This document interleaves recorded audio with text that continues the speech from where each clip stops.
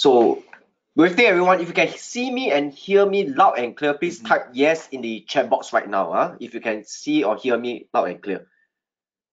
Okay, thank you, Boon Hao, Ryan, G- Jimmy, and Zach. Okay, so I think most of you can hear and see me loud and clear. So, um, so before I move on, I'm going to just uh, talk a short introduction of how uh, I know about Kang Wei. So Kang Wei going today going to present uh, to you uh, some slides of how he started investing when he was 15 Mhm. and uh, the lesson, the gains, and the mistake that he make, he'll Yep. be sharing. So, so what happened is that in early 2000 and uh, I think in 2014 when we just started, just started fifth person, right? Mm, yeah. So, so we are looking for writers to help us to write uh inside our our website itself. And I remember Adam was searching the Seeking Alpha and saw this writer writes very sound and logical uh, type of article. So we, we and we know that he's a Singaporean. So we we wrote in to him and asked him, uh, do you want to meet up and have a chat and all this? And when when we met him up, we were shocked because we didn't know he was a 16 years old boy at that point of time. Okay, uh, because to I think to go into Seeking Alpha, Mhm. what's the age? Uh? Actually, it's 18. 18, But, right? but then at that point, they didn't need Yeah. you to like submit your IC. Yeah. After that, after that, they need to. So yeah. So basically, he gets somebody. advantage. Yeah, he gets somebody to submit the IC, and at the time when he starts writing Seeking Alpha is when 15. Um, when I was 14, yeah. when he was 14 15 he started to write uh, for seeking alpha so so and the the way he writes is very logical. So we were shocked when we met him and when, when we start talking uh, sh- uh he's sharing us about his journey and all this uh it really struck us because uh it, it's very resonate with the way how we actually invest. And for me for 16 years old boy at the point at the point of time when i met him uh, he speaks so logically. Until now we are still meeting it every year and he went to army and now he's waiting for his uh university, University, right, uh, in SMU, SMU. and and currently he's working as an intern in uh, the fifth person itself. So I then I decided why don't you just share how do you actually get started in investing when you was uh 15 years old and and how you you done about it and I, and he shared with me a lot of his uh good uh way of how he actually picked dividend companies. So without further ado, I think we're just going to move on and and share him. So in case you cannot come into the webinar, don't worry, we have a live feed on the Facebook itself and also on the Instagram. So we also welcome you to uh, join us from there. So if not, uh, I'm going to move on to the slides. Mhm. Okay, so if you can see the slides right now, the fifth person slide, please type yes in the chat box right now. Okay, cool. So I think uh we are we are good to go. So basically, what happened is that uh we're going to he's going to present. He's going to talk about some companies. So as a usual disclaimer, whatever we going to share today is not a recommendation to buy or sell. Okay, it's for educational purpose. So let us hand over to Kang Wei. Okay. Yep. Um, I'm really excited to be here. I just want to share with you some of the uh, mistakes and lessons that I'm, I'm gonna um, that I've made over the past um, couple of years when I've investing. Um, but first, I'm just gonna start like um, by talking about how I started. Mhm. And so I actually started um, because of my hobby, which is in the field of numismatics, which is basically the collection of coins and paper money.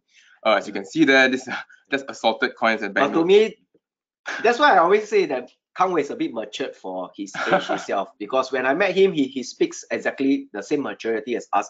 And come to the coin hobby is mostly for old, older generation people do that. And he's he's so young when he was 14, 15, he start collecting coins.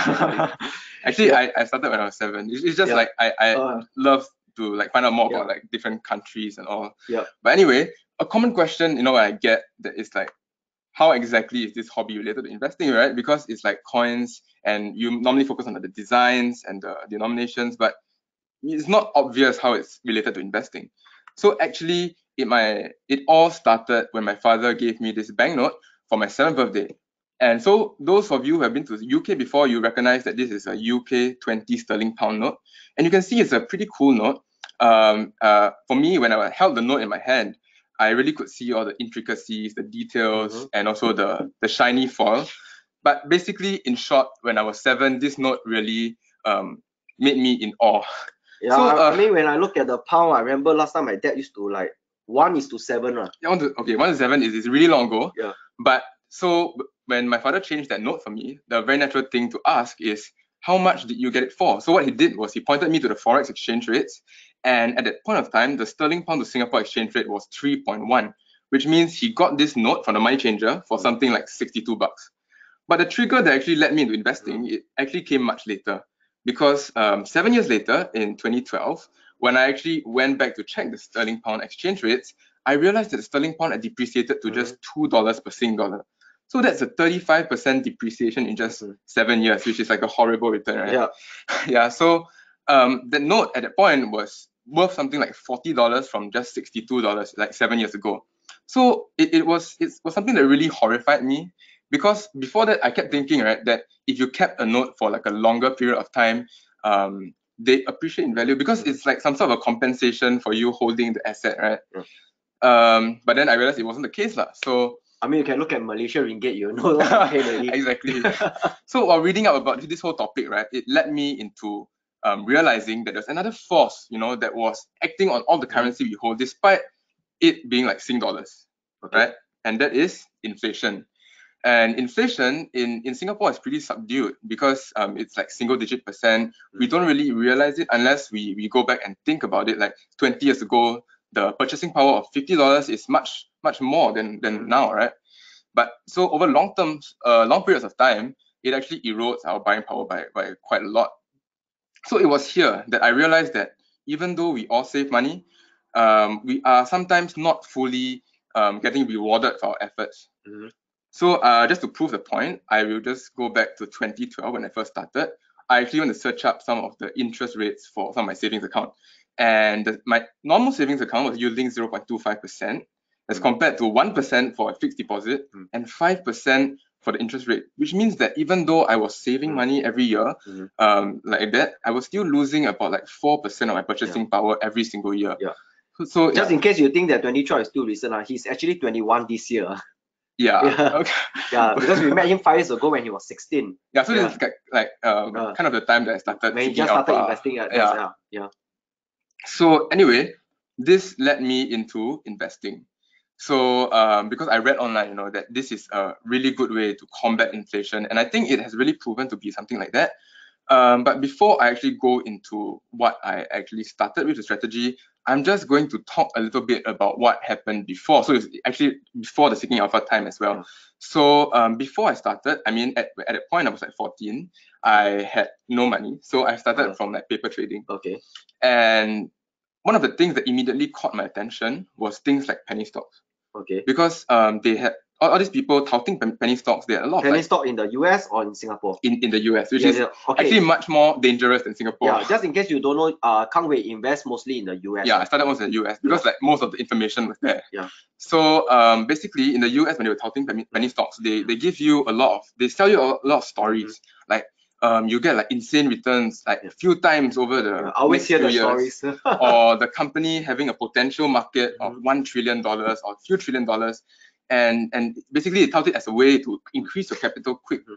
But then I realized after that, right, that these kind of things are actually called pump and dump schemes, Mhm. where these companies touting the these penny stocks, they actually pick those low float penny stocks, Mhm. small cap, and then they invest in it. And Okay. after that, they try to tout it to get to in- investors' emotions, Mhm. get them to invest. Yeah. And then after that, after many investors are in, the stock price has gone up. Yeah. They actually sell out at the expense of investors. So these Yeah. are actually very, very yeah, it's a very schemes. famous word called pump and dump. Uh, We Mm. have it in Singapore many years ago uh, under this uh, company called Blue Mont- Bond- Blue Mont Bond. and Lion Uh, that, Gold. that, that was a very uh, uh, how how pump and dump really works like. Uh. Actually, the guy was just charged today. I, yeah, I read the news. Yeah, just today. Yeah. So I, I realized that this kind of things were was investing and I mean it was gambling and, and not exactly like investing that, that I was trying to find. Yeah. And I was actually pretty lucky because at that point, right, I was doing paper trading. I didn't use my real money because I didn't have much. So I actually didn't lose real money this. So when did you start uh the real real money? actually I started in 2013 uh, When you are when I was 15. 15. Okay. yeah, so um, so I that means before father's 15, before 15, you are paper trading. yeah, paper trading. About 14 years old, he was paper trading. Yeah. So 15, you are So- using the real money. Correct. Okay. I, I got my starting capital actually from from the my earning from Seeking Alpha, which Okay. okay. a cou- Yeah. couple of thousand dollars. Interesting then- for a 15 years old guy making money from Seeking Alpha, writing article.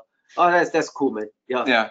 So anyway, um, without further ado, I'll just go into the in, Uh, investing technique. Okay, just in case you don't know what Hmm. Seeking Alpha, Seeking Alpha is a very, very big uh uh uh US site to they writes about articles about different companies in the US market. Yeah. It's very, very big, okay? The analysis. like- Yeah, the analysis. Yeah, so I'll go into the strategy, and that is dividend growth strategy uh, investing. So this is method is actually at the intersection of the pure dividend method, Yeah. in dividend investing, and also um, growth investing. Yeah. But why So- did why do you mm. start off with dividend instead of like straight away to the the growth investing itself? Yeah, so um, I know there are a lot of different Yeah. ways, like value investing, Mm, but for for me, right, first um, when I, when I went into dividend growth Mhm. investing, is it really proves that the company is solid. Uh-huh. because um, if you can manage to pay dividends for so many years on end and still continue to increase the dividend, Yeah. is you're usually at the cream of the crop. Yeah, you're But- right. It's yeah. very, hard for companies to actually continuously keep uh, increasing dividend unless their business model is very strong. You're right. Yeah. So oh, for you to 14, 15 years old can think of this such thing, uh, it's very good. It takes me quite some time to realize it. But but the, the more interesting thing that that the reason why I Mhm. am attracted here is because it pays you a steadily growing stream of reliable and predictable dividends. Mhm. And so um, during time of recession, I, I know that sometimes my emotions can get the better of me. Mm. So I think when I focus on dividends instead of like the gyrations of the stock market, I, I am able to like hold on better. Yeah. But the most important reason why dividend growth investing was really appealing for me is its ability to supercharge your returns using this concept called compounding. And I, I'll just share with you a very um, inspiring quote from me. Um, this is actually by one of the greatest scientists of all time, Albert Einstein. He was into compounding too. Mhm. Uh, you can see that he said compounding interest is compound interest is the eighth wonder of the world. He who understands it earns it, and he who doesn't pays it. So I think it's really true, right? Yeah. If you know about compounding, you really want to to use it Yeah. for your investing and for your life. Yeah. But if you don't pay attention and you don't know about compounding, you may very well be at the receiving end. Yeah. Like for example, to you, credit card debt may be maybe like a low interest rate. But in in reality, at a twenty percent interest, your your debt will actually double Yeah. in just three and a half years. So So- I Mm. think basically what what Kang Wei's trying to tell you is that actually uh, when it comes to investing, right, is is you must start as young as possible. Exactly. yeah. Because when you start young, you, you don't need a lot of money to start, but compounding interest can build up your small amount of money to a very huge. Mm. But the later you start, let's say in the 50s or the 60s, and you want to build it up, uh, you need a large sum of money. Yeah. right? So right. I think that's the the thing, the point that he's trying to uh, bring across itself. Okay, so um, I'll just talk a bit about dividend growth investing, like like the and the kind of stocks that we usually find. Okay, so dividend growth investing, as I said, is an intersection between dividend investing, which is stable, slowly growing dividends over time, and growth investing, which is seeking pure capital appreciation. So when I'm talking about this method, I'm looking for resilient cash generating business with possible avenues for future growth. So I, I still need to have some some growth. It has to be reinvesting some of that, Mhm. that, that income back into the business and resulting ultimately in growing dividends Okay. for shareholders. Yeah, but but the the way he's sharing these methods that he just shared today, Mm. right, is mostly I think the US companies tend to fulfill this criteria, but the Asian companies, uh, you must spend some time to find such companies in Mm. the Asian market. Asian markets works very differently from the US market. Yeah. That's partially the reason why when I look at Singapore dividend stocks, I was like, wow, they all decreased the dividends during the financial crisis. But Actually, he was that- very smart that he started off in the US. Okay, so um, I'll just go through one of the dividend stocks Yeah. that I, I really like. It's Johnson and Johnson. You can look at it. You can see its dividend growth chart here. Mm. Um, if you bought in 1972, um, you got like two cents of dividends, but now you're getting 90 cents a quarter. And the amazing thing about Johnson and Johnson is that it's grown its dividend for every single year over the past 50 over years. And for the 47 years in this chart, it's Mhm. grown every single year as well. And you can look at the, the highlighted part of that graph. Those are the recessions. And even through the 2008-09 recession, J&J actually raised its dividends twice when everybody was, Yeah. was in trouble. So you can see that its business model is really resilient. Yeah. And I'll just talk a little bit about uh, its business. So um, and and how it's so resilient, right? Mhm. So the first thing is that it sells consumer products. That's its first segment. Um, it has oral care, personal care, beauty products under things like Listerine, Neutrogena, and J&J itself. And this kind of brands, right, they've really built a very strong customer base over the years, and that gives it a lot of brand equity. Um, and more, and e- and we also don't stop using this kind of products during recession, right? Because we still need Yeah. like soap, mouthwash, etc. if I talk about mouth mouthwash, I always talk about Listerine. That's all. Only. Yeah, Uh, Listerine that's, is the, like that's the brand that's always it- in it's my like mind. share yeah. of mine, right? and, and and those of course the baby powders people using the but you don't talk about the recent recent case that they have all that Yeah, but in the true. past we we all, all use uh johnson and johnson and uh, for the babies and all this. Mm. And uh, but but the larger part of its um, income actually comes from its medical segment, Okay. which includes um, which offers products like for orthopedic procedures and also surgical devices for surgery. So, So, now what you're telling me that this two is the largest revenue contributor. um, this one and the next one, which is pharmaceuticals. Oh, I didn't know. I always thought that the consumer. Yeah, it- product it is seems the- like it's always a yeah, consumer yeah, yeah. product Oh, okay, company. okay, that's something interesting. Okay. Yeah, so all these things, right? Mhm. Um, people will need whether it's in good times or Yeah. bad times, right? Because of this like forceps, ligature needles, or like uh procedures for joint replacement and clavicle fractures, they, they, they happen. Yeah. But actually, there's one part of um, J&J's revenues that's a bit more cyclical, and that's the pharmaceutical Okay. products. Because um, as we, as we all know, you know, um, Mhm. pharmaceutical products uh, companies, they their revenues are very reliant on their pipeline, Mhm. and they may take a hit when when the patents expire. Mhm. But the good thing for J&J is that they have demonstrated really the ability to maintain a very strong pipeline over the years. And also a large percentage of their revenues come from drugs that are difficult to manufacture. Mm. So um, for those who don't know, drugs um, who that are produced in the US, they usually have a patent once they are approved that lasts for 20 years. Mhm. So when patents expire, all the generic competition will start coming in, and then they'll try to slash, Slash the price, slash the yeah, price so yeah. that they can make a profit. Yeah. And that means that the original company they cannot earn as much. But the drug that you see here on the screen is actually called Remicade. It treats autoimmune diseases, and even though the patent has expired, it is still um, having a 90% market share in the US. Whoa. Okay. Yeah. Uh, And that's because there's not a big difference between the price of generic and original products. And it's because this drug is really complex to make. mhm. And so I, I really like it, you know, that J&J is into this kind of drugs. Mhm. And also they've really uh, Mhm. shown the ability to maintain a strong pipeline. So Mhm. that, that's the reason why um, it's so resilient and it's been able to pay consistent dividends over time. And going back to the chart, now I'm actually plotting it Mhm. um, in, in terms of percentage change. And you can see that um, if you bought J&J shares in 1972, and for the amount of shares, let's say you earn you um, got hundred dollars in dividends, Mhm. but for the now for the same amount of shares, you're getting four thousand three hundred dollars of dividends, which is an increase of 43 times. okay. And that doesn't even take into appreciate the the the, the, The share price, consideration, share the share price appreciation, appreciation, right? So I think you can see how compounding Mm. really works in your favor. Mm. But there's actually one way to supercharge your returns. Mm. Um, and that is reinvestment of the dividends. Mhm. So I'll just do a very simple exercise, right, to show you the power of reinvestment and why this really drew me into um, dividend growth investing. Okay. So let's assume that you are just starting out 30 years old and you have an initial capital of $10,000.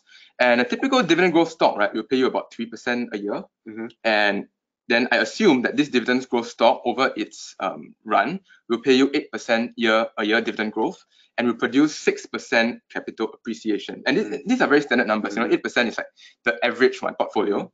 And for 6%, that's actually the performance of the Dow Jones over the Mhm. past 50 years Mhm. right? So um, in the first year, you get 300 bucks, Okay. right? You can see here. And let's say you don't reinvest the dividends.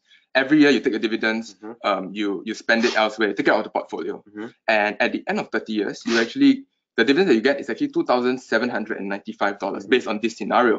Okay. And that is a 27% yield on cost. I mean, it's not Yeah, bad, right? Not so bad. Not so bad. Mm. Yeah. Not so bad. but um, let's let's look at the scenario where you reinvest dividends. dividend, Okay. So the amount that you get is 7,441. It's 74% yield on cost. So you can really see the difference, you know.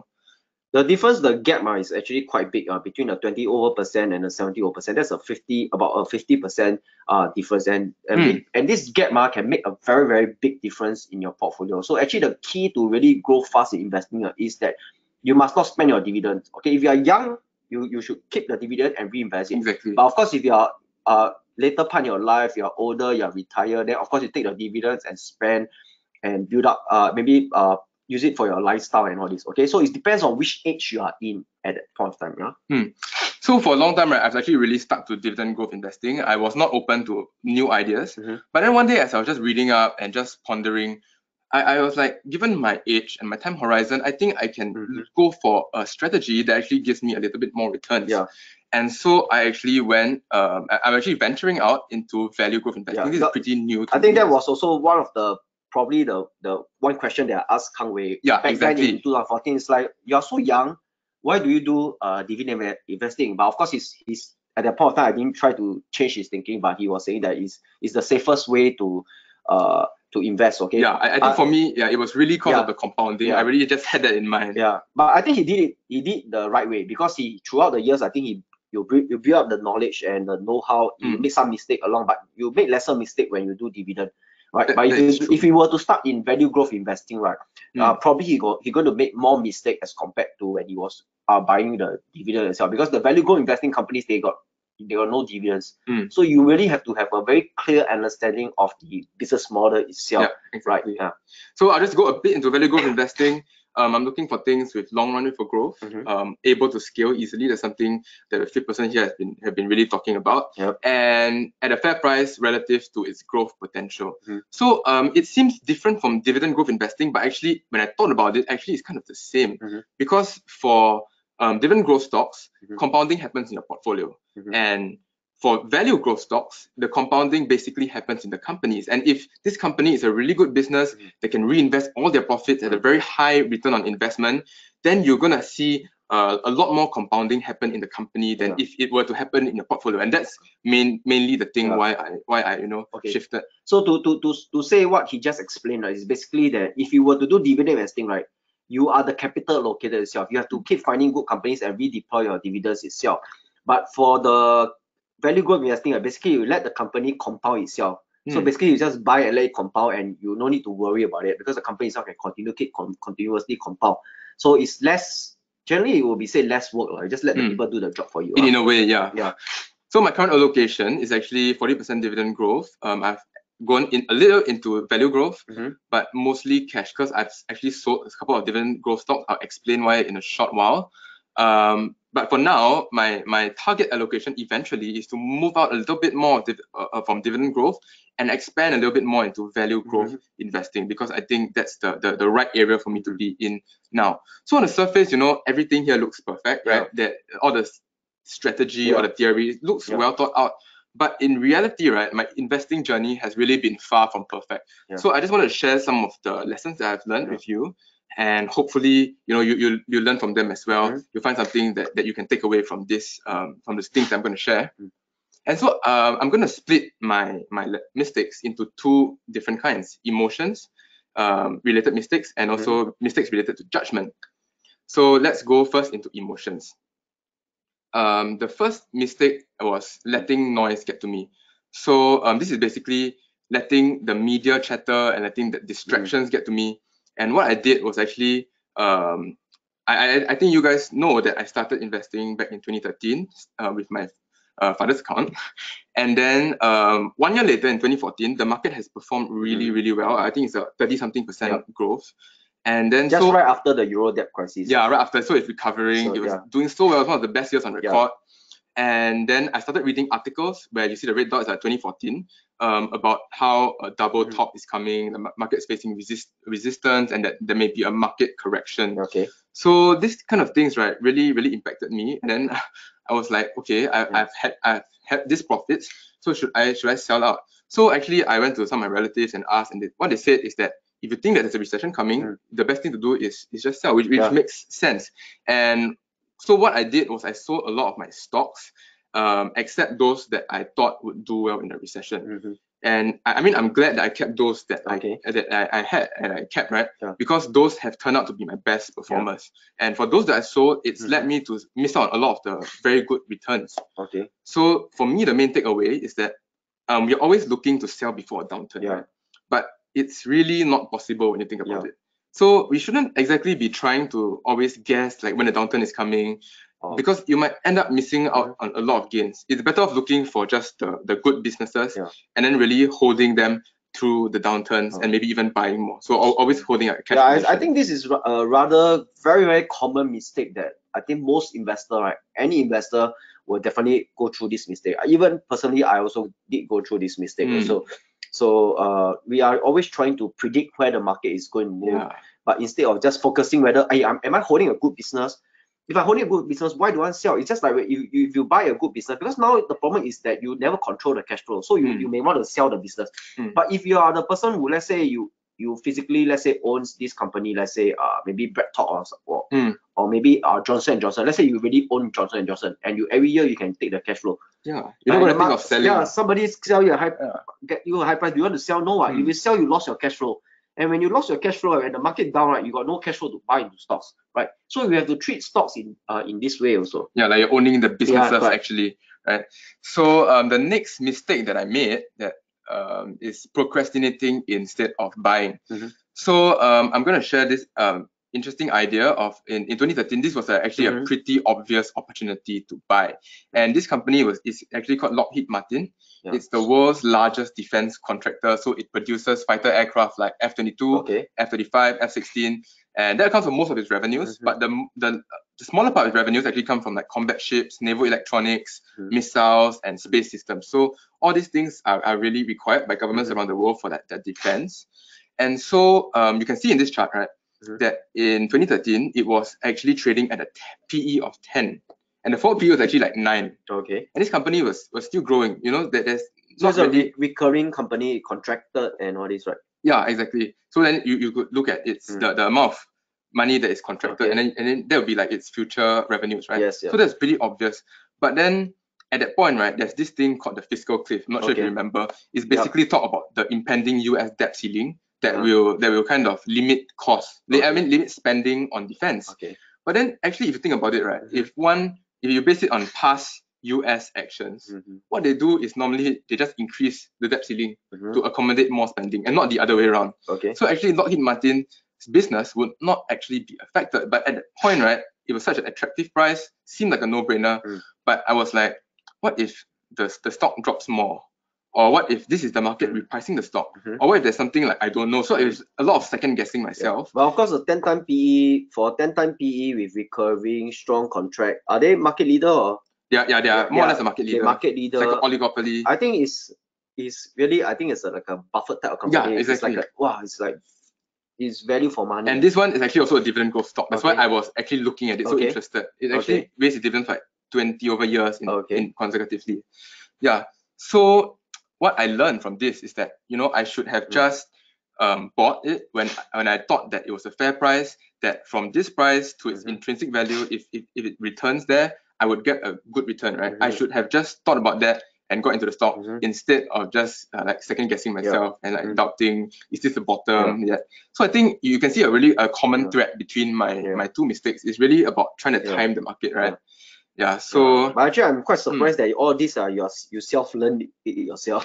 yeah, I, yeah, it, I- it, it yeah. took some like, reflection. lah, but it's good that you you you make all these small mistake when you are much younger. I would say. right? So now when you hit your 21, you you got a long runway to run because you already know what company you want to pick, what stock you want to buy, Mm. what kind of business model is good.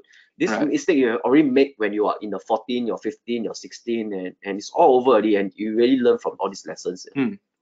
So okay, I'll just share with you the performance of Lockheed Martin Hmm. since then, and you can see that it's been like a Yeah, so three or four bagger. or three or four bagger for if you have bought. Yeah, uh, so 80 over dollars now is 296. okay. You can see the fantastic performance of Lockheed Yeah. Martin after the market repriced it. Yeah. Right. So basically, if you find a good business, uh, good management, is selling at a good price, you don't care about the uh macro macro the news, yeah, the right? macro Just news. focus on the bottom up approach, uh, value for money. Just go and get it, and yeah, don't procrastinate to buy. Yeah, Hmm, because when the news comes out, right, Yeah. usually, right, that means it's really late into the cycle, yeah, huh? and then it's already like normally maybe tr- going to you know Uh-huh. recover. Is it's Okay. going to be like a cyclical Mhm. recovery as well. That that's when the media really takes Mhm. advantage. So yeah, that's another thing to to learn, I guess. Mm. Um, my next mistake is actually actually it's quite a common one. okay, It's actually deviating from the Okay. strategy. So I Mm. think back in like Mm. 2013, 14, I was talking to Victor about like gold Yeah, and natural resources. yeah. when we, when I first met him, he also talked about all Yeah, exactly. Yeah. So um, I because I read a lot of articles about Yeah. the attractiveness of this kind of asset Mhm, because they were like beaten down, Mhm, and then the sentiment was bad, mhm. and then there was a lot of like quantitative easing. So they really Yeah. took advantage of the the fact that quantitative easing, Yeah. and and then they they went to talk about you know gold Yeah. that gold is gonna like skyrocket in value uh, soon. So what I, I did was was to read up a little bit more about gold uh, funds and stuff, and I found this fund called the GAMCO Global Gold Natural Resources and Income Mhm. Fund. And this fund actually the performance over the past five years at that point was Mhm. actually very bad. It was like negative sixty percent. Okay. But then I was like, okay, it's, it's because this is industry is in a cyclical downturn Mhm, and it's gonna recover soon. mhm. So um, I, I actually found, I actually look at the dividend, it's 144. Then I went to the share price, it's 1005. And that gives me a dividend of 14.3%. Mm-hmm. So that is actually a, a very attractive. it's a very, dividend. attractive dividend Yeah, yield, right? Yeah. So I was like, wow, this is something that I like, a sector that I Mhm, like, and then it can really increase the Mhm. dividend of my portfolio. So I was like, yeah, I, I, I really want to go into this, and I went into the stock, uh, Mm. ignoring the fact that the funds had actually decreased its dividend before, Okay. and also the past performance was not very good. Okay. lah. I mean, we're talking about it. So eventually, um, after buying this Mhm. uh, fund, I did it actually reduced the dividends Mhm. twice more over the next one and a half years. Obviously, because the, the companies held in this fund, they, they were also paying less Okay. dividends as So the yellow, downturn. the orange color line is the dividend. orange color is dividend the blue and the color blue line is is the price. price, So exactly. basically, from this chart, it's very simple already. If a company decrease the dividend, there's a very high chance they decrease the share price. Yeah. The share price decrease. So Exactly. you say decrease dividend, decrease share price. Huh? Yeah. So then, um, for me, after the two dividend cuts, I was like, I think this is really a mistake. I shouldn't Yeah. have gotten Yeah. into this fund. Mhm. And I bailed out the fund at seven dollars and sixty cents from ten oh five just now. So Okay. that's about a twenty percent loss. But Okay. luckily, the dividends I collected is about Mm. one eighty. So the loss was uh, about like eight percent after Okay. commissions. Yeah. Not so bad lah to make uh, to learn a lesson. Yeah, exactly. Just lost eight percent to learn. I lost fifty percent to learn learn a lesson. Yeah. But anyway, a few lessons here. Obviously, the first lesson is never deviate from the Mm. strategy, right? Because my strategy was to look for really Mhm. solid, Yeah. resilient dividend Yeah. stocks with growth potential Yeah. that can raise dividends over time and not something that is cyclical and just like cutting its dividends, stuff like that, right? And more, more, moreover, if you talk about gold, they don't generate any cash flow out of it. There's no, Mm, there's mm. uh, you put a gold out there, 20 years later, it's still the same old gold. right. yeah, it's true. But and then these were also like um gold mining stocks. Yeah. And then when as gold price fell, th- their their profits actually they Yeah. all went into losses Yeah. basically. So they really couldn't um, hold those dividends as well. And the second lesson actually from Mhm. here, I just want to share is also never chase you. Okay. I mean Yeah. like 14% you it, it's really looks too good It's to really be true, right? Yeah. I think most people get sucked up to it. Yeah, like, like me. Yeah. So when it's too good to be true, it probably isn't. lah. Yeah. So that's the end of emotions. I'm now going into um, lessons from judgment. So judgment basically means that these mistakes were made basically because, because of my inexperience. Yeah. And so the first mistake I made was actually selling a great business. Okay. And this business is called the Trade Desk. Mhm. I sold it when the price doubled, Mhm. but after that, it actually performed exceedingly well because this is simply such a good business. So I'll just go into a bit of details about the Trade Desk. The Trade Desk is actually a company Mhm. in the programmatic advertising space. So what it does is it helps advertisers maximize their return on investment through selecting advertising inventory that best suits their needs and their Mhm. requirements. So I won't go to, into too much details about this. You can read up our company on your own, but um, there's a couple of key factors that make this company such a great business. Mhm. Firstly, it's a platform business, Okay. right? So it is massively, massively scalable. Mhm.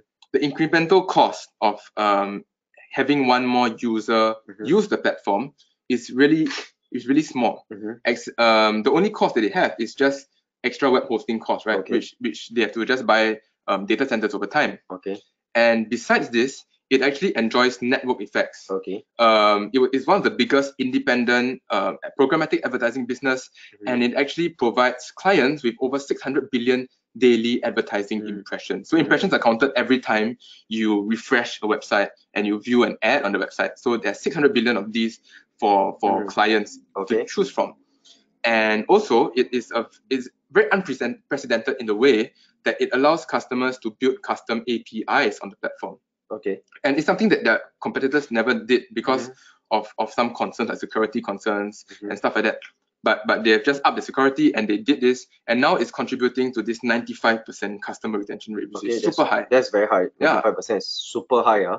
Yeah, and the best thing is right, this programmatic advertising industry is growing at a, like a 20% clip. Okay. Yeah, because it, it's uh it's, it's using big data Yeah. to decide on what inventory, advertising inventory to buy. I think the future is in the big data. lah. I think everybody's talking about uh, data science and Yeah. all this. That's why. Exactly. Yeah. So even if Trade Desk does not grow its market share, which I, I Mhm. think it will, Mhm. it's already growing at a 20% uh, growth rate.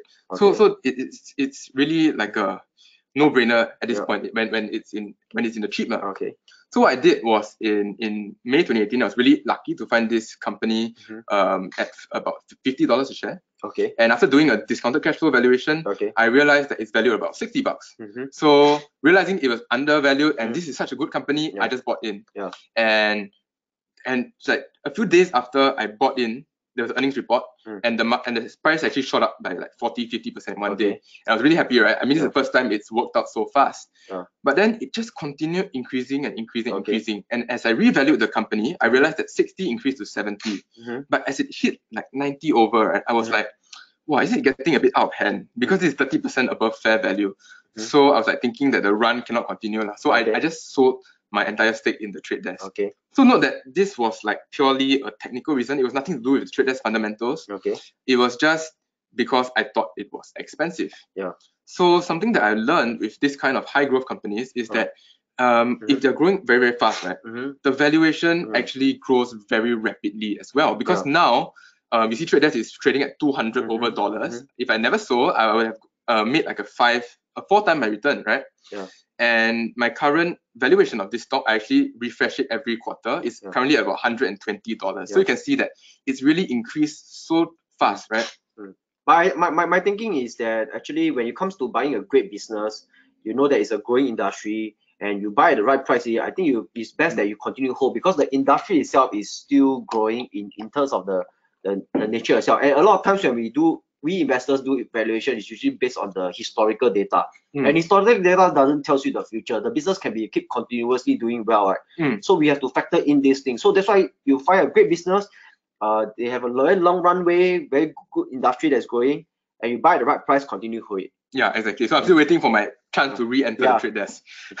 Of course, trade desk is expensive right now. Yeah, it's very expensive, 100 times PE. Mm, yeah. But this is something that definitely you should keep on your watch Yeah. And my next mistake is actually holding an over leveraged business. Okay. So I actually did not hold this company, Kinder Morgan, directly. I actually own one of their subsidiaries. It Okay. was a really good dividend paying stock. Mhm. And actually, what Kinder Morgan did was to buy out this subsidiary. So I was given um, part cash, part stock. So Okay. I, I had some Kinder Morgan stocks there.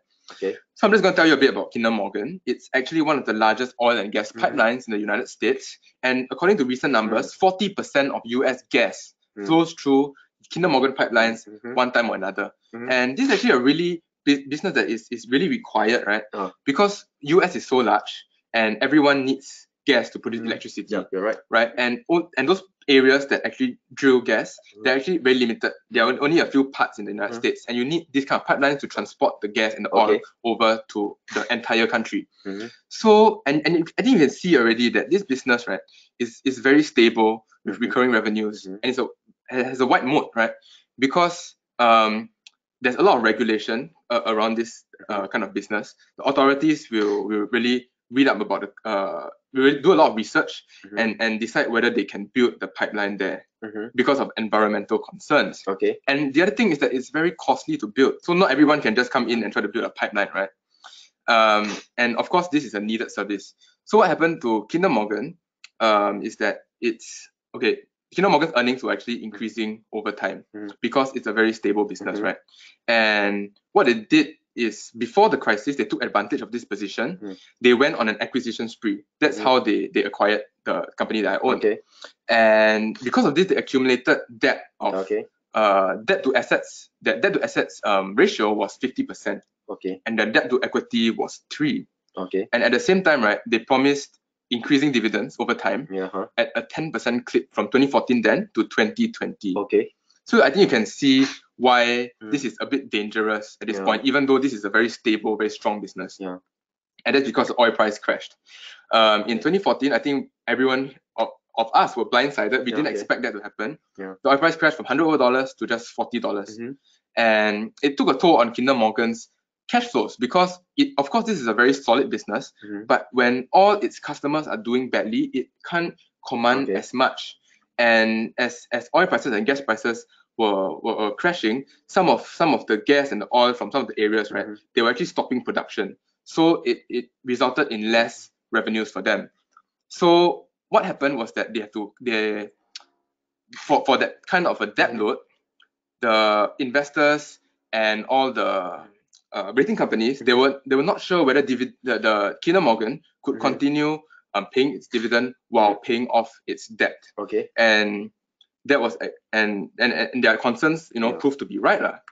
um, because in 2016 they had to cut their dividend by 75%. Okay. So same thing. You look at the chart. Uh, the I think the red one is The red one is the dividend. The share price is the blue one. And the debt to assets is actually Yeah. the yellow one. So the basically you cut your dividend, you, the share price decrease. Huh? Very Yeah. common. Exactly. Mm. So um, luckily I didn't lose as much money Mhm. as as um as, as you see here Mhm. because I, I saw on the way down and Mm. also Kinder Morgan paid a pretty tidy price Yeah, for the company, the company that I own. lah. Yeah, okay. But anyway, this is something that I, we, we- Yeah. we should learn, right? Yeah, so so not so bad for him to start off, you know, doing dividend investing, make some mistake over there, then get to become uh, a small smarter investor. Yeah. Okay, but so if he started off straight away in value growth, he probably going to make more mistake because there's a lot of the companies don't pay dividend like what I said. Huh? Yeah. Okay, so and just a very quick side note on insider purchases. Mm. One reason why I bought Kinder Morgan was actually because the CEO Richard Kinder he was Mm. he was continually buying the shares, Okay. and you can see here he actually bought over 50 million US dollars worth of shares. Oh, that's a lot of money, 50 over million. yeah Uh-huh. over the two years, Yeah. right? And so this this basically highlights that Mm. while insider buying is really good, it does not mean insider alone insider buying alone Yes. means mean make it mean that It's it's a good buy. Yeah, yeah, it's a good yeah. buy. Okay. So you have to look at the insider's track record as well. Yeah. But more importantly, right, I think we should really analyze each stock and find out whether it's worth our money before correct. buying. So if the if the insider is buying when we view that the stock is undervalued, they, they did a correct thing. But if you Yeah. view the stock is overvalued and yet the insider keep buying, right, then probably the insider himself. Sometimes you must know there's a difference between a, a entrepreneur and a and a capital allocator. A capital allocator know when to buy into a, a company, but entrepreneur they, they always believe that their business will do well. So regardless Yeah. of what price they they'll continue to keep buying and buying and buying and buying. So Yeah. just take note about it. So after after all, insiders are also human too, Yeah, right? yeah, and, correct, and they might make mistakes. yeah, yeah. And the the next one is actually never extrapolate growth. So Mhm. my mistake here was uh, was uh, twofold. You know, Okay. the first is I extrapolated growth, Mm. which is this company's current year revenues based on its past growth, and but Okay. but this company was actually one with lumpy and project-based revenues. So for those who are unfamiliar with this stock, I actually written an article here on Fifth Person before Uh-huh. on Hatton Land. It's a property developer based in Malacca, um, developing residential, hospitality, and commercial real estate. So what it does is it buys the land, then it hires a contractor to help with Mhm. construction, and then it, it sells um, it, the land, right, Okay. to, uh, I'm sorry, the units. Mhm. And this company has very lumpy earnings and Mhm. revenues. You can see because um, it depends on the percentage of property completed Okay. and the percentage of units sold. Okay. And all these two factors, right, they rely on Right. external factors. Yeah. So there's a lot of moving parts in this in this case. Uh.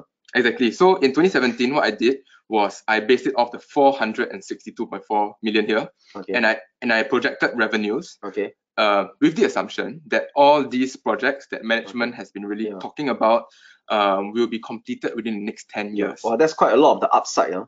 Yeah. So Yeah. basically, I considered all of the upside, but I didn't consider so the downside. Yeah. Okay. And I mean, you know Murphy's law, right? Yeah. Whatever that, that can Yeah. happen will happen. So right? when it comes to investing, is you don't always want to look in the upside. You also Yeah. must focus. Actually, come to investing is always focus on the downside.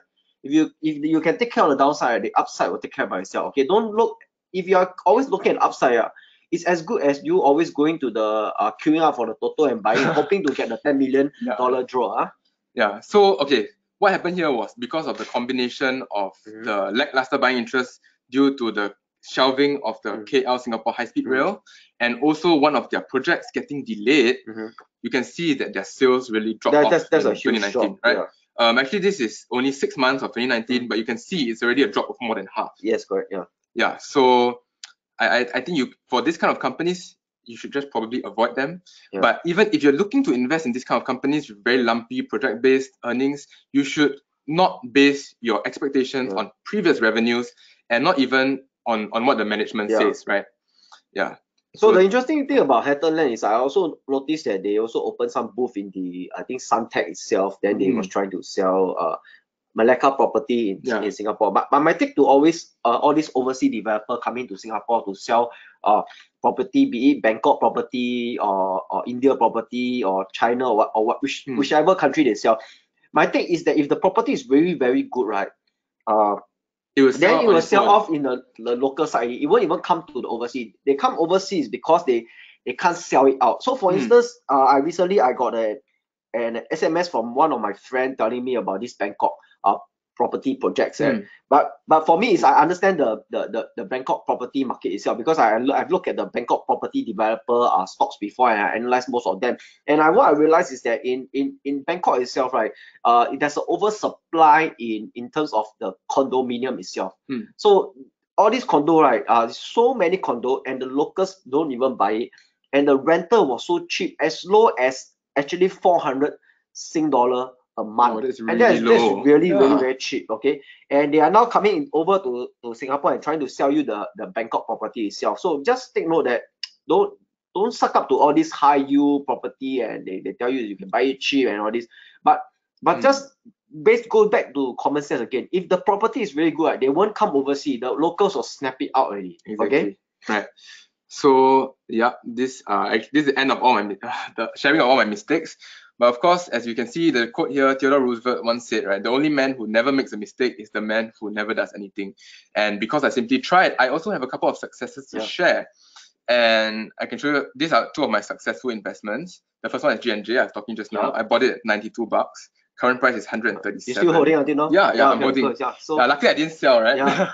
so the dividends increased Yeah. about 30 over percent Yeah. to 360, Yeah. and I've made a total return of 61.9 percent based Yeah. on plus dividend plus dividend Yeah. and after, after the withholding tax, tax. as So if well. you invest in US, right, there's a 30% uh, dividend tax. yeah, So not so bad for uh, I think a five years holding. five years holding period. Uh, yeah. 61.9%. That's how uh dividend investing usually. That's the the percentage The range. get. Yeah. Right. So the other one is actually this company called WEC Energy. This is a utility with a stronghold in Mhm. Wisconsin. So again, like Kinder Morgan, it's a regulated Mhm. monopoly. Okay. So entry price was 45, Mhm. um, current price like 78, and with the dividend increased, um, I think 40%, Yeah. my returns were 90%. So this is one of the better Yeah. investments. Yeah. So I'm also just going to talk briefly about a couple of other successful Mhm. investments that I've made that I think are still pretty good buys, except one. Okay, Mhm. I'll just talk about it. So the TJX, the Mhm. this company is actually the first company that I bought. Okay. This is an off-price retailer of Mm. apparel, home decor, and furniture. So what they do is they sell these kind of things at about 20 to 60% discount to Mhm. customers. And the business model is actually very interesting. So what they do is they buy inventory Mhm. from departmental stores and Mhm. apparel manufacturers who have excess inventory and trying to clear stock. Okay. So what it does is it buys in this stock and then keeps it until the season is in, and then they sell it to customers at a profit. Okay. And the other thing is that it's a, quite a resilient business as well against Amazon Mhm. because of its experience on of uh, I mean its emphasis Mm. um, on the customer service. So what what it likes is that when people come in the store, Mhm. they they have like a kind of a treasure hunt feel because when when it buys incomplete sets of inventory at, at cheap prices, right? Mhm. Um, when, when when people come, they are like eager to try things on. Mhm. Uh, some clothes, you know, some may not be suitable. They have no size. And if they have no size, right, that means they really don't have any other stock. So it's very rare for them to find something that they really like. And when they find that, it's it's like finding treasure and, and they'll they'll buy it. So it's because of of this whole customer experience that TJX focuses on. So it's actually performed very well. Okay. Um, the next one is Google. I mean, Google, I think really needs no more Yeah. explanation. It's so Yeah. entrenched in our lives. yeah. So it basically, has- there's one search engine only. Yeah, it, it- it's one that is really good. Like who uses Bing, right? Yeah. so it is but besides you know the search engine it's also built an entire application uh ecosystem of Yeah. Mm. different kinds of applications from things like youtube um to like google maps Yeah. I cannot live stuff like without. Google Maps. yeah i can't live without google maps Yeah. i think you, you Yeah, said well, in china I, I was in China. Wow, Yeah. uh, Rusmin was in China. There's you cannot use Google Map. It's like wow, it's terrible, man. yeah You have to use Baidu Map or something like that. i think it's not as good right definitely Yeah, not. yeah, yeah. And so yeah, Google is definitely something that is Yeah. is a really good um, stock to buy. Yeah. And the next one is actually Kimberly Clark. This one is a manufacturer of tissue, toilet paper, and personal care. Yeah. And these are personal care products, and these are things that we need in Mhm. both good and bad times, right? And why I bought into Kimberly Clark then was because um, of, of its share of mind, like J&J's consumer Okay. brands, Mhm. and but more importantly, um, because of its relationships with all the retailers, Mhm. it gives them a lot of shelf space Okay, where uh, in, in the stores. But I've also recently sold this stock okay, because um, Kimberly Clark has been really good at cutting costs okay, and that's increased margins. But recently I found that Kimberly Clark's gross margins actually fell. okay. So um, I, I sold it because uh, firstly there's, there's a limit to how much you can Okay. cut costs, and secondly we are we are seeing a decrease in the unemployment rate. That means labor costs are about to go up. Okay. So I, I think Kimberly Clark doesn't also doesn't have that much growth. So I decided to build a position when Kimberly Clark's trading at that. So are you still holding price. TJX and yeah, Google? TJX and Google definitely. Still Those holding, are okay. one two of my core positions Yeah, actually. actually Google, I think he bought it at a very good price. What, what's your price? Six hundred plus. 600 plus. 620 That was, that was a very good price. So I straight away told uh, Kang Wei that hey, please don't sell, don't sell Google. Google is uh is one stock that you want to hold for life. Man. Yeah. Exactly. Okay. So yeah, so that's the end. This is summary now. Um, I'm just gonna summarize this and also give you a couple of like tips, right? So um, first one is that it's never too early or too late to Mhm. start investing. So for, for those of for our young viewers, you know, starting young is really really beneficial Mhm. because you really have the time to fail and learn. And when you're young, you don't start with that much capital. Yeah. Yeah. And it's never too late as well because if you are just entering retirement, Mhm. um, instead of spending your funds, you should maybe consider dividend investing, where where you Mhm. really can um, get um, uh, steady and reliable cash flows Uh-huh. over time instead of spending your capital and then you have nothing left, Yeah. right? And also, um, the another tip, right, is that for investing, you really have to take time to to understand Mhm. businesses. Mhm. Um, because you, after all, you can see through this presentation, right, that it's not easy. You can do analysis and yet still lose money. Yeah. But but the key is to just persist and also be disciplined about it, Mhm. um, and just and just Yeah. continue on. Don't be too fixate or getting hundred percent. Uh, that means you make hundred percent right call. Okay. Most of the time, I tell you, you, you you if you can get seven out of or six out of seven, six to seven correct is is quite good already. Okay. Even uh personally, I also make mistake in investing also. Mm. Yeah. And lastly, and the most important, I think, is that you should only invest money that you can lose or you don't need Yeah. it in the near future. Because if you need this capital for something, Mm. like let's say in five or ten years, Mm. and the market happens to crash at Yeah. point, and you so you have to really sell out at Yeah. that kind of low prices. Which So- you are not supposed to sell. Uh, Yeah, and, and those are prices we're supposed to buy at, not sell, right? Yeah. So um, that's another tip I have. I, I just just invest um, the capital that you are you are okay with not having over Okay. a long period of time. Okay. So uh, that's the end of the presentation. Okay. I'll be taking some questions. Okay, so what happened right now is that uh, you can ask us any question regarding the uh, the presentation, or you also can ask us any question regarding investing. I think I see some questions there already, right? Yeah, of course. So so give me a minute. Uh, we're just going to switch it to our face. Yeah. Uh, Yeah. Okay, I think you can see us now. I- So so we're trying to get some questions. Oh, there's a lot. A lot of questions. Okay, there's a there's a lot of question. If you if you have any question right now, please type. Uh, we'll go answer the question for the next 10 uh to 15 minutes itself. Okay. Okay, yeah. Uh, so the first question is, but US dividend is taxed heavily by Yeah. US government. This is by Mr. Tan Kian Yeah. Soon, right? Yeah. Yeah. So of course the US dividend is, is taxed heavily, it's 30%. Yeah. But for me, why I, I look at US dividend stocks is because I really like the kind of diversification that US dividend stocks came with. Yeah. Because in Singapore, many of the, the blue chip stocks, Yeah. um, even for those blue chip stocks, right, Okay. they are um, still relatively concentrated. Okay. But for J&J or for Nestle, uh, other kinds of dividend Mhm. companies, Mhm. um, they are really diversified across the whole world, and that's an extra protection. So I was like, uh, okay, lah, I'm, I'm willing to take the 30% dividend um, Okay. withholding tax just to, ex- to Okay. to get these businesses. Okay, so Yeah. Talk actually asked this question, is it possible to download the video? Okay, I think we, you can't download download the video, but we have a site that we host this all this video after we're done. We have many episodes, the past episode is all down there. You just have to Google fifth person and hang out. Then you can find the, the site to go already. Okay. Okay, the next one Uh, is um, Mr. Buck. Um, will Uh. the recent lawsuit affect J&J's dividend performance? And I think no, because J&J's dividend payout ratio is actually just like 50 or 60%. So that, that's really low as compared to, to the, its earnings. And for Mm. And I think for the lawsuit, a lot of things are like not really confirmed Yeah. yet. Mhm. And even if it is, right, it'll just be a one-time charge. And I think J&J will be able to to just manage that, Okay. take it So, so I think that there's this next question by Peter Lai. He actually asked like, uh, where can you find uh, US company US info? company information? Uh? Yeah, so um, the, the first source and the most obvious source Yeah. of, is, is the company's Mhm, website. mhm. You, you can find annual reports and everything there. So definitely that's, that's somewhere that, that I think there's go. another one we can call is the S SEC, right? SEC, yeah, SEC. SEC, SEC, uh, SEC. What's the website? Right? SEC dot. GOV, is it not GOV?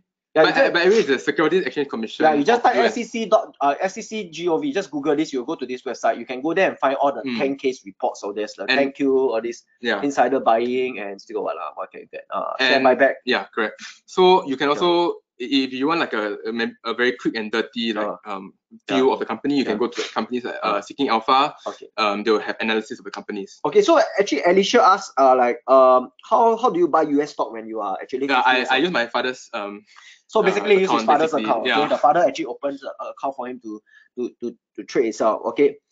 how to Uh, reinvest your dividends from Alicia as well. Um, for for the broker I use is called Charles Schwab. Um, they actually have a function just reinvest the dividends. So I just click yes. And the next Uh, one, asked actually some uh Jacqueline actually asked is do you invest in Singapore stock and what is your take on the upcoming uh, market bullish or bearish or okay, I, I think the bullish or bearish Yeah. part is a bit hard to answer because Yeah. I, I- mean Predict- I already basically shared, we can't predict the yeah, the we can't we can't really predict. I, I'm only gonna look into like good stocks. I, yeah, I, I have started investing in Singapore stocks as well. A couple of them that I bought is like um ComfortDelGro when when when the Grab and Uber thing was actually impacting it, the stock price crashed. So Okay. yeah, that's something about. I think Adrian have a very interesting uh question. He see, my daughter is watching this and she's in secondary school, second secondary, Secondary two, okay. So secondary two is about 14 years Yeah, old. that right? is the time That- yeah. So she's asking what is the first thing she should uh, start doing now?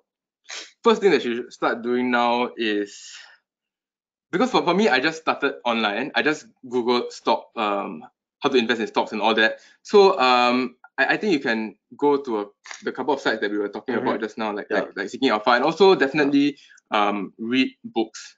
So um I think the most um common book that we always uh, talk about is like some of the things like Uh, Peter Lynch. I, I actually recommend One Up on Wall Street. Okay. That was a, that's pretty good book that really teaches you how to find like fundamentally strong businesses. But of course, there's like Benjamin Graham's The Intelligent Investor as well. That's a pretty yeah, Yeah. solid book as well. So I think Lin Lin Yip actually asked this. Uh, I think it's a very good question. Is which website or app do you use to actually Filter. filter your criteria? Yeah, so for US stocks, I use this Yeah. app site called Finviz, F-I-N-V-I-Z dot com. Um, it actually is the best free screener that I found so far. But of course, you can also use your brokerage, your brokerage screener. That one also usually has a lot of functions. Okay, uh, I think there's a question by SW. He asked, do you opt for a drip for all stocks or you take the dividend in cash or reinvest? Okay, so um, for normally, right, I will set it as yes, unless I I reinvest it, unless um, I think that the stock price is overvalued and I think I can allocate Yeah. my capital a bit better. Yeah. And for US stocks, it's okay to just reinvest because you can sell Mhm. those decimal places like Yeah. those fractional stocks easily. But for Singapore, Better I don't do it. recommend that you don't do this. Yeah, yeah, for Singapore, you must take uh, cash because you will end up in yeah. For uh, Singapore, cash okay. definitely. Yeah. because in US they go by uh, uh, uh go by a share itself itself. Also also remember only to do that if you feel that the stock is still undervalued, then you Mm. use the drip. Okay. Uh, let me get another question here. Uh, Victor actually asks, uh, what is the greatest uh lesson that you learned from investment journey and from which stock that you learned it? Wow, the greatest because there, there are so many lessons, right? Um, the the the, the greatest lesson. Mm, I think it's never hold an over leveraged business. Mhm. Yeah, so I actually shared that earlier. And because over leveraged business, right, no matter how strong a business is, it can be very stable, very recurring, like like a Kinder Morgan, but you still can you you still see Mm. this kind of stocks possibly go Mm. bankrupt because of the high debt load, because they just Uh-huh. uh, overestimated their ability to um, Mhm. manage this this debt load in in the face of a recession. Yeah. Okay, so I, I think uh, YK have a question. Is currently DKSH is buying Auric. I Mm. think this I think this question I can answer it. Uh, is gearing is a, uh, go above one is is this still undervalued or generating a good dividend for upcoming acquisition? Personally, I think that they are the management is taking too much risk in acquiring the the Auric and they are taking too much debt to Mm. acquire. So I, I got very concerned with that the issue uh, uh with with this company DKSH at this moment. Okay. Mm. Uh, and also I think that there's a lot of people asking about the brokerage account that uh Yeah. Kang Wei is using. Uh, So I'm actually using Charles Schwab because the Uh. minimum is 25 grand USD. Okay. I like interactive brokers like 100 Uh, grand, something yeah, like but that. in, uh, but interactive broker is generally you must have a lot of money to Yeah, use interactive yeah. broker. If not, you can use Charles Schwab, or if not, you can Yeah, use iFast. I I- think iFast is also, usable. yeah. Or there's also a lot of other US brokers Mm. like Think of what Think or Swim, TD Ameritrade. uh, yeah. E E Trade, uh, actually Option Express or something. like Option. Express is now Charles Schwab actually. Oh, now Charles Schwab. Yeah, oh, they- Option Express. Okay, they basically been bought over by yeah, they got uh, bought over. Charles Schwab. Okay. And I, uh, I, I, wait, okay. Okay. Uh, how how about positive net, Net cash, cash company? company, I mean, as in what what context you got? Of course, you having a net cash company is good. I would say. I would say. Uh, Yeah, and then I, I see this question. I'm holding Hatton Land. Should I cut loss Yeah. since it's lumpy in your sharing, right? Yeah, okay. So I, I think that you should. It's really based on your position size. If it's too big, I recommend that you trim it. But if it's small, like like mine, actually I haven't sold it. Yeah. so um, Hmm. yeah lah. If it's small, I, I think it's okay. Kelvin asked, uh, were you born in Yes, I was. 1998? Yes, Yes. yes, yes, he's born That's in right. 1988. you guessed it. 98. Uh, okay, yeah. So, uh, Peter Lai actually asked where to find the insider trade. So um, normally you can find it in the SEC website, Ah. but for Finviz, they actually at the bottom of each stock profile, you can find the insider trades. Mhm. I actually use that. Yeah. Okay, let me see what. Is J&J undervalued now? I think it's fairly valued. Okay, uh, How do you Dear Kang Wei, discipline? re- yeah. regarding about market noise, how do you determine when to ignore and when to take action?